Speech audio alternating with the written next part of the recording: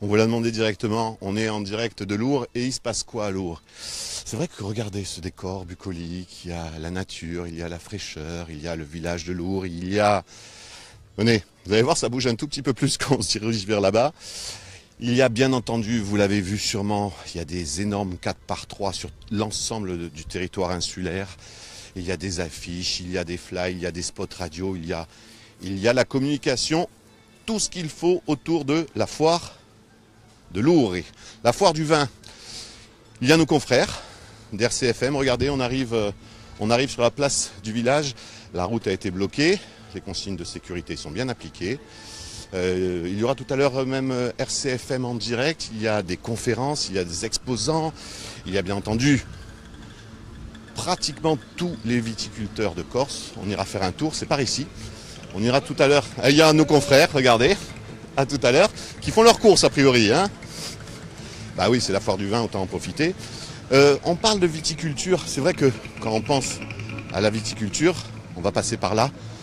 On pense de suite, bien entendu, au plaisir, avec modération toujours du vin, on pense euh, aux, vignerons, mais il y a beaucoup d'autres métiers, et c'est vrai que les Corses sont plutôt bien représentés dans les métiers du vin. Les métiers du vin, c'est, oui, le vigneron.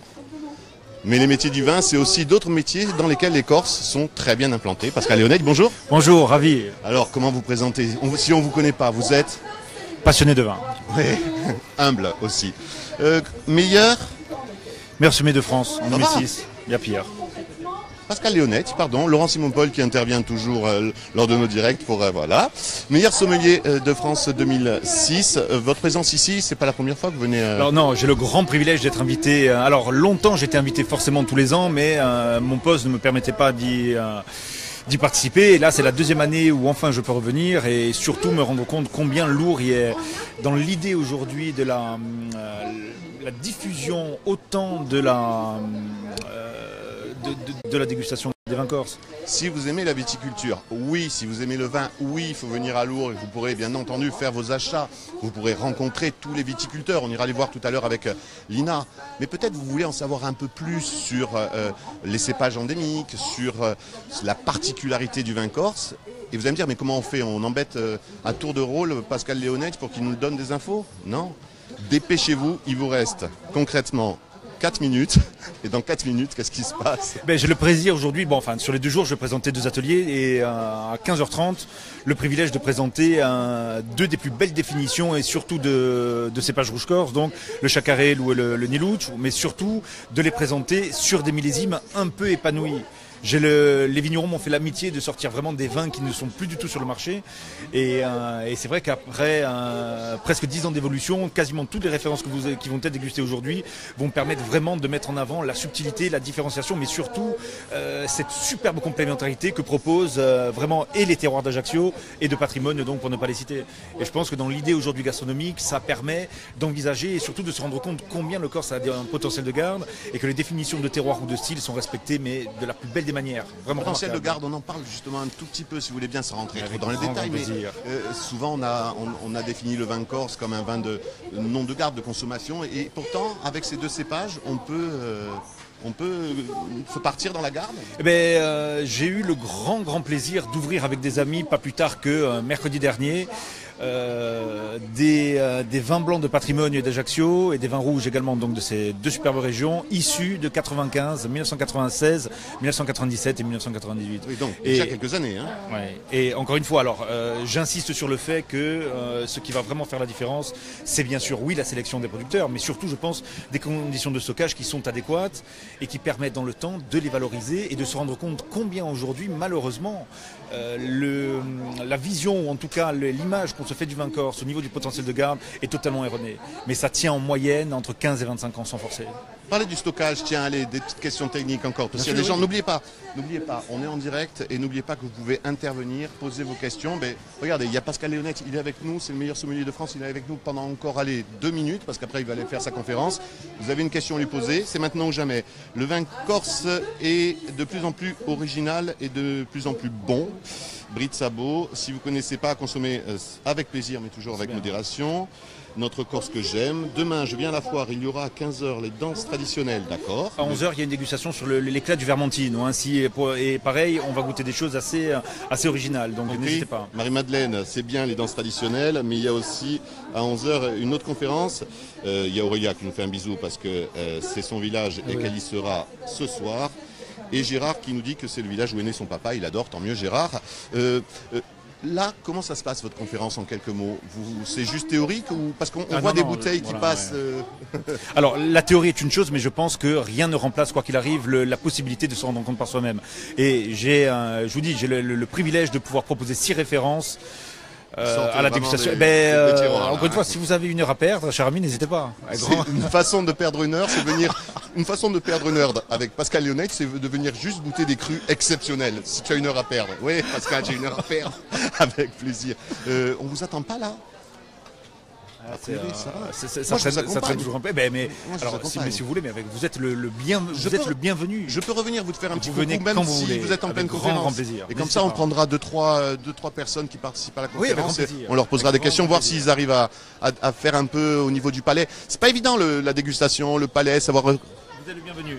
Avec grand plaisir. Bon, et tout à l'heure, on vient vous embêter. Allez, on va, euh, parce que cette foire, c'est aussi le travail de toute une équipe, et on va essayer de rejoindre euh, le président de l'association qui gère la foire de Lourdes, qui s'appelle Laurent, il s'appelle Jean, Jean Chiosi. Je crois que c'est c'est le monsieur là Ah oui. Je crois que c'est... J'ai une chance sur deux, c'est ça? Je vois que tu, tu m'aides. Bon, on va y aller. Hein. On est en direct, vous vous embêtez pas. On se cache. on le laisse, il est en pleine discussion. On, on- on va l'embêter dans, dans 30 secondes parce que c'est. Je peux vous embêter. On était avec Pascal qui nous a vendu, alors Pascal Léonette qui nous a vendu la foire de Lourdes. Je vous explique pas de quelle manière. Mais, mais il a tout à fait raison. Mais Pascal est un garçon Passionné, passionnant. passionné, passionnant et très lucide. C'est ce qui fait sa qualité, c'est la lucidité. Il a compris que la Foire de Lourdes est un événement extraordinaire. Si je regarde, excusez-moi, si je regarde mon téléphone, c'est parce que comme on est en direct, on a les réactions en même temps. Il y a plein de gens qui vous posent. Il y a Aurélia Bastiani qui vous fait des bisous. A priori, c'est son village. Ça vous dit peut-être quelque chose. Alors, oui, ça me. Euh, Gérard Arami qui dit que c'est le village où est né son papa. Il y a euh, Joseph Thomas qui dit qu'il va venir nous voir parce que c'est aussi a priori son village. Si quelqu'un a plus d'une heure, il peut rabou- ramener une bouteille, ça c'est euh, Maya Graziani. Tout le monde semble se passionner. Euh, bien sûr, l'impact de la viticulture en Corse n'est plus à démontrer. C'est un, domaine très important. Mais c'est pas un domaine. Dire toute l'agriculture corse vers le haut. Il y a, il y a une forme d'excellence dans la. Et il y a eu un gros travail, soyons honnêtes, on peut le dire. Il y a, eu, il y a une période. immense. Il y a eu une, période noire immense. en Corse concernant le vin, on ne va pas s'en cacher, il y a eu une Non, période où et- ça n'a pas été Et puis génial. on va pas y revenir. C'est pas la peine. Par contre, ce qui est sûr, finalement, et finalement, cette période, elle a permis aussi à des gens de se dire, regarde, les conneries, on les a faites, on va plus les faire. plus refaire et les maintenant, mêmes, il faut on- évoluer, on, sait ce que ça peut donner. Et depuis, il y a une, une- ne cesse de progresser. Euh, juste pour vous présenter, parce que j'ai dit qui vous étiez, mais j'ai pas donné votre rôle, vous êtes le président? Je suis le nouveau président. Alors j'ai pris la succession de- d'Éric Paul, qu'il a été euh, jusqu'à euh, mars 2017. C'est une succession lourde à assumer, mais que j'assume avec beaucoup de plaisir. D'autant plus que la qualité des vins corse étant en perpétuelle C'est ce que disait. amélioration, Il a dit. je- moi je suis un homme heureux. Il a dit oui, le vin non seulement corse est bon, oui, il a progressé, mais en plus on pensait souvent que c'était un vin qui ne pouvait pas être un vin de garde. Et oui, ça devient aussi un vin de garde. mais- Et il n'y a pas- pas de complexe à avoir. Mais il n'y a aucun complexe à avoir par rapport à- aux, aux- aux autres vins, aux autres régions, aux autres appellations. Nous avons notre spécificité, nous y tenons. Nous travaillons pour ça. Tout en respectant les autres, comme d'habitude. Mais bien sûr, mais bien sûr. Mais, mais je suis amateur de vins de. Moi, j'ai des vins de toutes les, toutes les régions. Toutes les régions. Et j'ai une affection particulière pour les nôtres, mais bon. Bah, sans Ça- aucun chauvinisme, on, Non, on nous non, connaît. non, non. Mais parce que, parce que On je- essaye de trouver l'INA en même temps. Oui, parce que, je sais que. Pardon.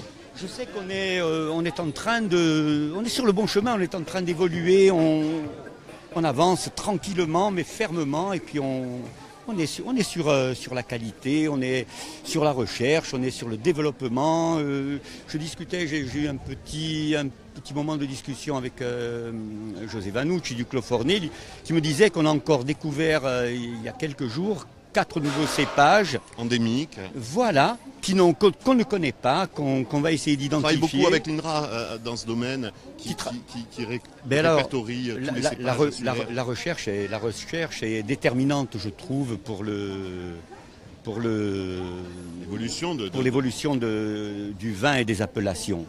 On- on- Laurent, on, on va vers là-bas si tu veux bien. On va essayer de trouver Lina parce que c'est elle qui va nous faire faire. Parce que Lina, euh, quand on parle de passionnée de vin, de viticulture, je crois qu'elle aussi. hein, Ah, Lina, c'est alors Lina, elle a elle a pris une lourde succession. Son- Alors officiellement, on va vous le dire. Je, je la taquinerai tout à l'heure avec elle. Officiellement, dans l'organisation de la foire, elle n'a aucun rôle. Non, non, elle n'a plus de fonction au sein de l'association. Ah sauf non, que non, ne quand pas- vous la verrez, elle se dé- démène. Ah, pas- ne pas avoir venez. alors ne pas avoir de fonction officielle, ça ne veut pas dire qu'on fait rien. Oh, loin de là. Voilà. On est en direct. Profitez-en, Lina. On- Non, on non, était il a pas. train- on était en train de parler de toi. En bien, rassure-toi. hein. Oui, oui, oui. Lina n'a plus aucune fonction officielle. Mais ça l'empêche pas d'être mais à fond. C'est une conseillère de l'ombre, Lina. Non, mais en fait, c'est très intéressé. Là, je le conseille bien, je lui montre tout. Il a beaucoup travaillé Non, non, cette non, mais année. aucun espoir de ce côté-là. Là, allez, Alors écoute-moi bien, Lina. Si tu penses que en formant encore plus de gens, tu vas réussir à se caper de l'organisation, a priori, c'est pas. Ah, il Ça- transmettra. Moi, je, je le forme et puis après, il, formera quelqu'un d'autre. Mais a priori, Oui. il n'y a personne qui a envie que tu t'en ailles. hein, je le dis. Oui, mais je reste. Non, non, non, je reste, mais, Non, non, euh, non, sur mon mais Elle est partie. Elle est partie. Oui. Elle est partie. Hein, Mais elle je est vais, partie. je vais la garder. Je vais la garder un peu comme elle est, là, tranquillement. Il faut dire que ça se voit peut-être pas parce qu'il fait très jeune, mais il m'a vu naître. C'est peut-être qu'il il a. Ça, c'est il y a peut-être un coup de poignard. Non, c'est la réalité. Euh, jamais- Il y a Joseph, je continue parce que comme on est en direct, les gens réagissent. Il y a Joseph Thomas qui nous a dit Tiens, je viens de voir mon frère. Et François, bien, oui. Voilà, a vu Alors, José, José est à Paris. Ah ben, regardez, José, il est à Paris. J'ai vu mon frère, c'est drôle. Et il nous fait des, des coucous. Bah, du, du côté de Saint-Martin, du canal Saint-Martin, il est. Et Voilà. On l'embrasse bien fort. Euh, il y a Marc Pézigne qui, a priori, lui est originaire euh, de Portigio, mais du coup, il dit c'est mieux chez lui, mais ça, on lui en veut pas. Tout le monde. Non. Le, le plus beau village du monde, c'est. C'est lourd, il C'est s'est lourd, senti lui, assez voilà. Non, c'est le sien. Non, c'est. Fienne, c'est Fienne. Voilà. Non, Euh, il exagère, il a peine dans l'exagération. Et il y a Lucie Cortine qui nous dit Forza José Vanucci du Clos Forney. Voilà, Voilà. comme ça. Ben oui, c'est une très bonne vigneronne. Jeannot, je, je vous laisse. Je peux continuer la visite avec, Oui, euh, ah, avec mais- Lina. mais- Et regarde comme il Avec, passe le avec. Lina qui n'a aucun rôle, mais je, je vous laisse en bonne compagnie. Lina, ciao à toi. Elle fera, elle fera recharger son, son téléphone portable d'ici euh, 10 petites minutes. Vous entendez un peu de musique, c'est tout ça, c'est parce Oui. qu'il y a aussi des animations, il y a aussi des, des exposants, il y a aussi... L'allée avec les viticulteurs, en fait, elle est... Alors je vous permettez. C'est l'allée des vignerons. Voilà. Parce que Alors les ça, vignerons, la grande différence, vous ne la connaissez peut-être pas, mais on m'a repris, je fais beaucoup d'émissions avec eux. La différence entre le viticulteur et le vigneron, c'est que l'un transforment la matière première, c'est-à-dire le raisin, en vin, et l'autre euh, fait soit du vin de table, c'est tout à fait euh, honorable aussi, du, du raisin de table, soit euh, donne son raisin à des coopératives pour Pour qu'il soit vinifié. voilà. Voilà. On est donc dans cette allée, l'allée des... L'allée des vignerons.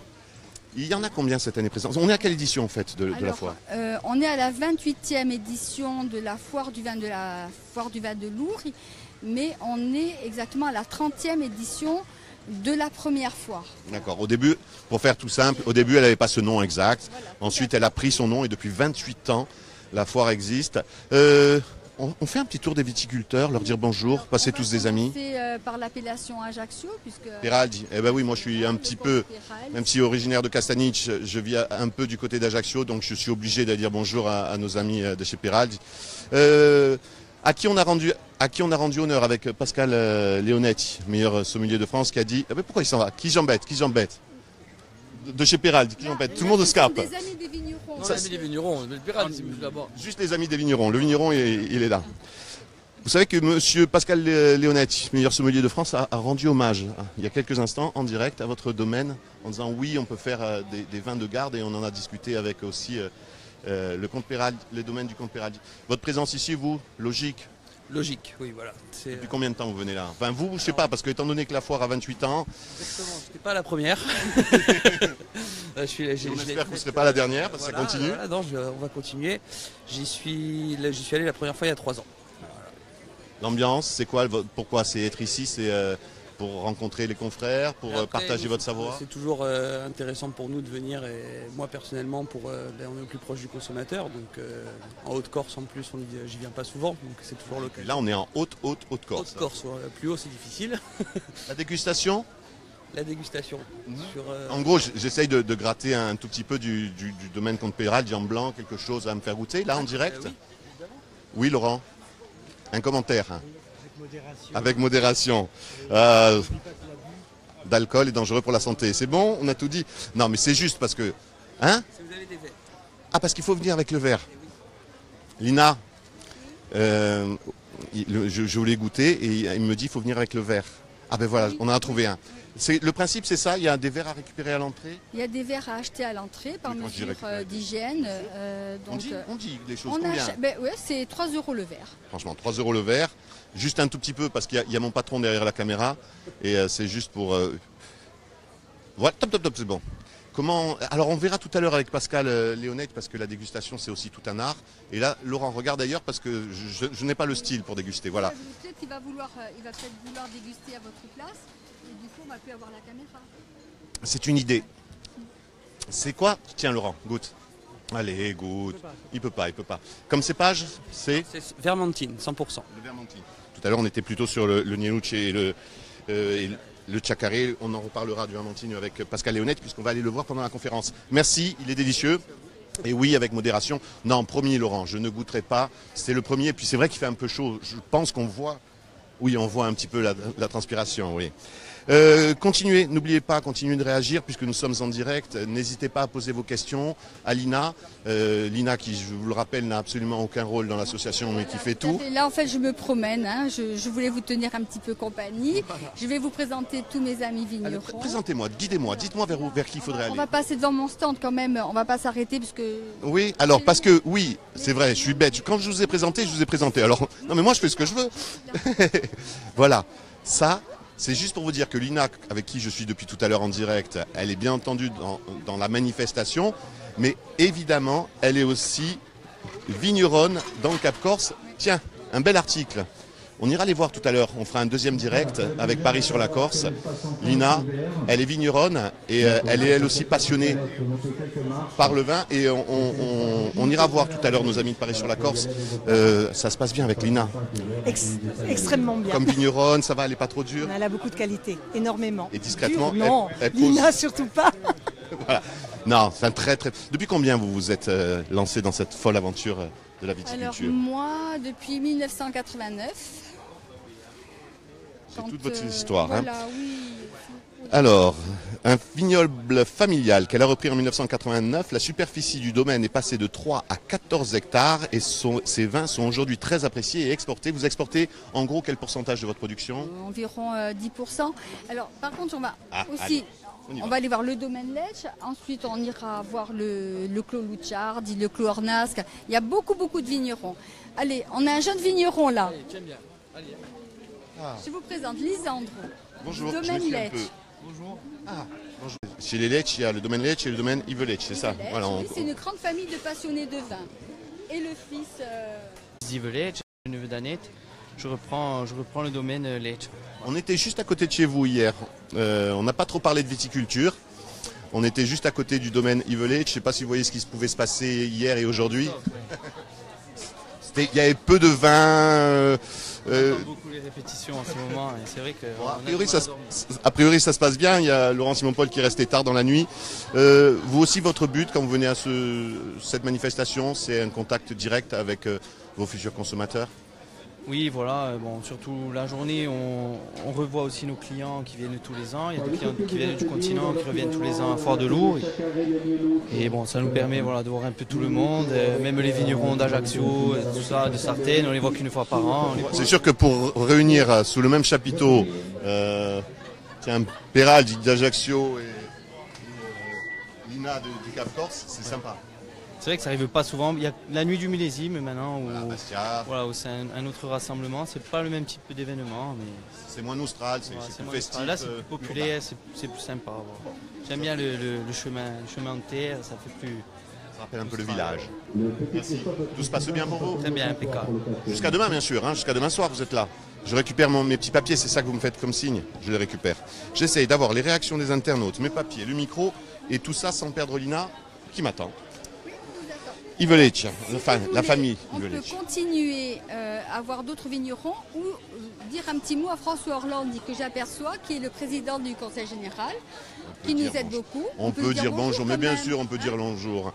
Rien ne nous empêche, Et Laurent, de dire il est bonjour. très sympathique, il aide beaucoup la foire euh, parce qu'il subventionne euh, la foire du vin. Bien. François, juste un petit bonjour. On est en direct, je vous le dis avant, pour Viasté, là, sur les pages euh, Facebook. Juste, euh, on se promène avec Lina, on, on est là pour mettre en avant euh, toute cette part de l'agriculture insulaire. Euh, votre engagement, vous, il est là depuis un petit moment sur ce genre de manifestation. Je pense que le conseil départemental, hier le conseil général, est engagé depuis le premier jour. Donc ça